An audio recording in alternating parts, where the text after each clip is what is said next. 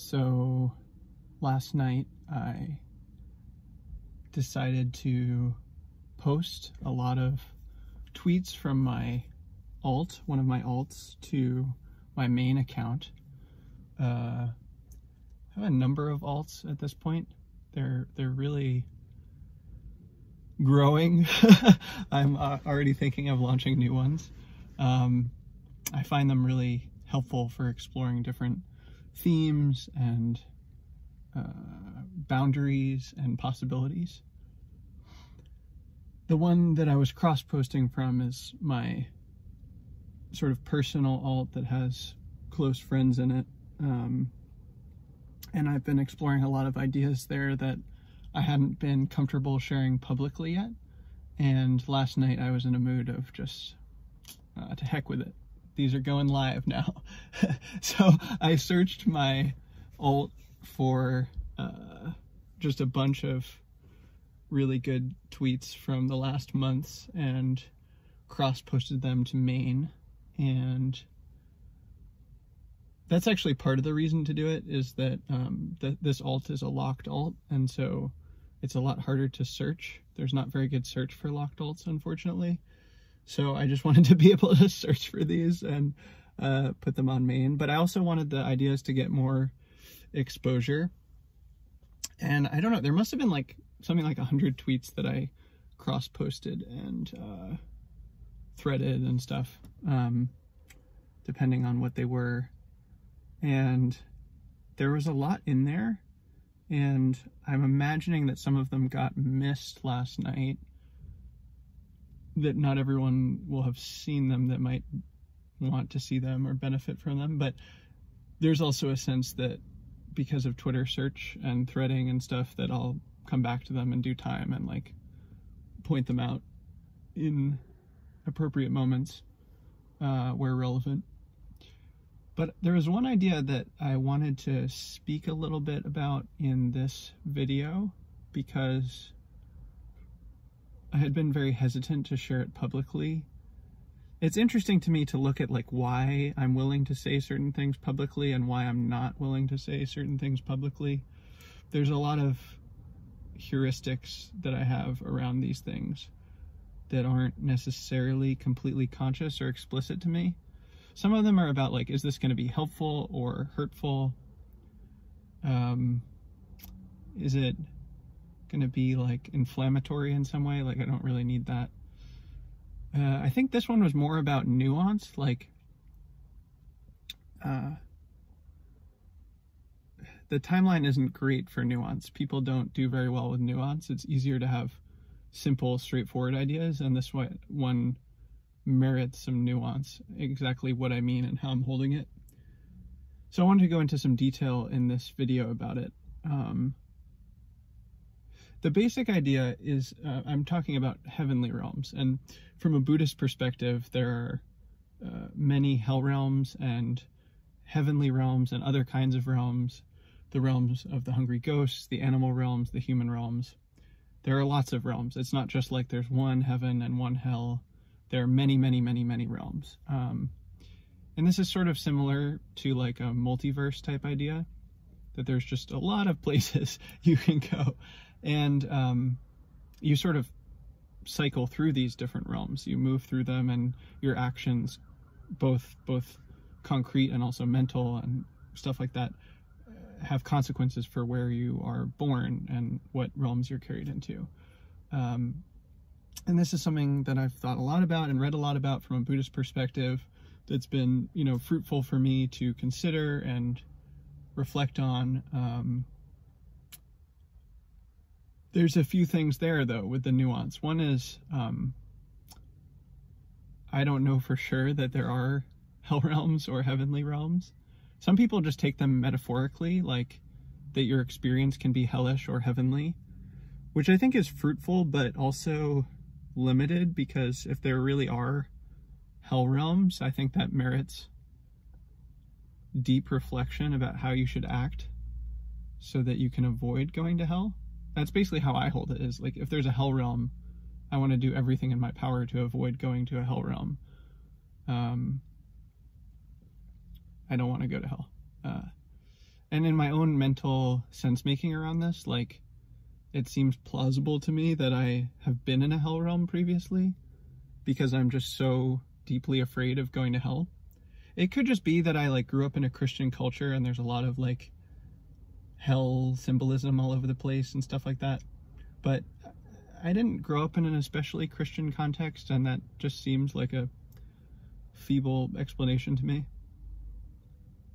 Like incomplete, not not having as much strength as the possibility that I've been in a hell realm before. I don't know that for sure either, though. It just it just kind of clicks for me.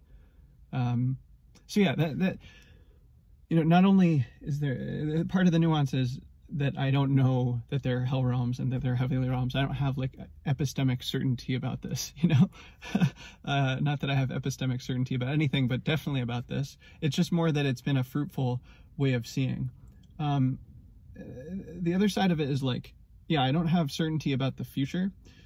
Um, but the way it seems to me, this is just the way it seems to me when I look around, when I read the news, when I read things about what's happening in the world, when I just watch the patterns that I'm exposed to, it seems like things are changing. I think everyone would agree with that. That's not particularly contentious. Things are changing and they're changing a lot. There's a lot going on on a lot of dimensions of civilization and the planet. And it's complex. It's complex. It's emergent, and all of the different factors are affecting each other. Um, changes in the economy, changes in the society, changes on the planet in terms of the climate and the ecosystem and the, all of that. Um, all of these things affect each other, and there are large, unpredictable, complex, emergent side effects that compound and affect each other. And that means that things are changing very rapidly and uh, the scale of impact and consequence is very large. That's what it seems like to me. Uh, and so that's the first thing. Things are changing. And the second is, broadly speaking, it seems to me like things will change in a generally good direction or a generally bad direction maybe it's more complex than that, that some things will get better and some things will get worse, but it seems, uh, uh, how to put it, like a choice point, like a pivot point where things are going to be radically, dramatically different in large, irrevocable ways that will either be net positive or net negative for human society, but also for the planet. And uh, of course, it'll probably be more nuanced than that. Some changes will be good and some changes will be bad, but like one of the negative consequences that could happen is the human species goes extinct or the planet is irrevocably in, uninhabitable for most life on Earth. Um, I'm not up on all the latest, like, say, climate science or, uh, say, nuclear weapon science or things like that. But, you know, it seems like we're playing for keeps here. Uh, and that's that's a that's a real possibility as far as I can tell. Um, which is not something I would put in a tweet either. That I'm concerned about like mass extinction or uh, the destruction of the planet for a few reasons. But anyway, that's a that's a side note. So anyway, things are changing. things are changing, and it seems to me like they will be a net positive change or a net negative change, not only for humans but for all life on the planet. And it also seems to me, this is just my own sense making around what the heck is happening right now. Could be totally wrong, but it seems to me there's a lot of momentum, a lot of energy, a lot of inertia towards the consequences being net negative that things aren't going well. Uh, the climate, for example, great example, but other areas as well. You know, um, handling of COVID, political issues, instability, economics, things like that. It seems like there's a lot of momentum towards things going poorly. And from that perspective, you could describe it poetically or literally, however you want to take it, as there's a lot of momentum towards us going to a hell realm, a, a negative consequence, very bad situation for humanity and life on the planet. But it also seems to me that there's a possibility that we could enter a net positive outcome, not just for humans, but for all life on the planet. It seems to me less likely currently that that will happen, but not impossible. There are a lot of positive signs that things could go well, that it seems like we could make it out of this thing fundamentally transformed, but in a positive way. Of course, I don't know what's going to happen. I don't know which is going to happen, but if there's a possibility that we could, again, metaphorically, poetically enter a hell realm, I want to avoid that. And if there's a possibility, metaphorically, poetically, that we could enter a heavenly realm, then I want that.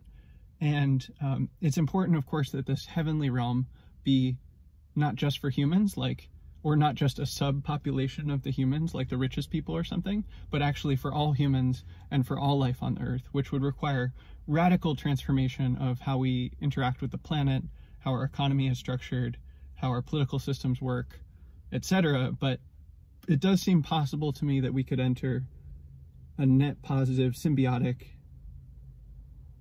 beneficial relationship with the planet and other ecosystems on the planet. And that that would be tantamount to us entering a heavenly realm. And that could look like a lot of things. I see a lot of very interesting signals in terms of what might be possible for society. Um, things like collective sense making or decision making or collective art, um, alternative economic structures. Uh, I see a lot of interesting experimentation happening. Uh, and I'm obviously this is this is a huge, huge uh, project. So there's more like nodes and pieces of information and details than I can possibly comprehend at this time. It's more of a pattern that I'm noticing that is possible. So again, if if it's if there's a choice point where we either enter metaphorically or literally a hell realm or a heavenly realm, I want to do everything in my power to avoid us entering a hell realm. And I want to do everything in my power to steer us towards a heavenly realm, towards a net positive outcome, not just for humans, but for all life on the planet. That's a lot more nuance than I can convey in a tweet. Um, or even a thread. But it does feel very important to me, this idea. You know, qualified with all of the asterisks and disclaimers and uncertainties of like, I don't know what's going to happen and I'm not certain about this, but it does seem like things could go poorly and it does seem like there's a chance things could go well. And yeah, if that's true, then I want to make sure things go well. And that's what I want to put my energy and attention and power towards is bringing about a net positive outcome importantly, not just for humans, but for all life. Um, so that's what I'm about, really. That's what I'm about right now. To the extent that this vision or intuition or sense making is coming from a place of clarity, that's what I want to be putting my time and energy into in this life, on this planet at this time. I want to be steering us away from a hell realm and towards a heavenly realm. And really, frankly, that's what makes the most sense to me when I look at all of the different activities that I find myself doing. It's like this is the guiding principle behind all of the diverse things that I find myself doing. You know, I look at my days and they're just radically different. I'm engaging a lot of different skills and capacities and different kinds of connections with different people, working on different kinds of projects. And it's all moving in this direction of how can we collectively, as a species at this time on this planet, have a net positive outcome rather than a net negative outcome? How can we avoid a possible hell realm and enter a heavenly realm?